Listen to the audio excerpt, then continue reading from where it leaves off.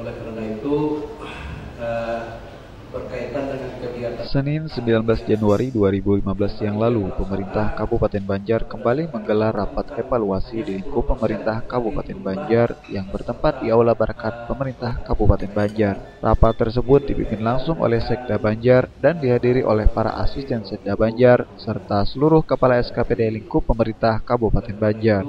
Dalam rapat tersebut banyak membahas permasalahan-permasalahan yang ada di setiap SKPD, antara lain investor yang melakukan pengurukan tanah di wilayah Gambut dan Kertak Anyar telah ditindak. Terdaftarnya SMP 1 Martapura, SMA 1 Martapura, dan SMK 1 Martapura sebagai adiwiyata mandiri pada bulan Februari mendatang. Kemudian, upah minimum sektoral provinsi atau UMSP untuk makanan dan minuman sebesar Rp1.900.000, perkebunan sebesar Rp1.875.000, pertambangan sebesar Rp1.905.000, dan perbankan sebesar Rp2.795.000. Selain itu, pada tanggal 13 Februari 2015, semua data LPPD seluruh SKPD ditargetkan sudah terkumpul. Biptek penyusunan LPPD yang akan diadakan pada Rabu 21 Januari 2015 serta gerakan pencanangan perbaikan irigasi di Kabupaten Banjar yang akan dilaksanakan setelah tanggal 25 Januari 2015. Diharapkan dengan diadakannya rapat evaluasi tersebut, pemerintah Kabupaten Banjar khususnya kepada seluruh SKPD lingkup pemerintah Kabupaten Banjar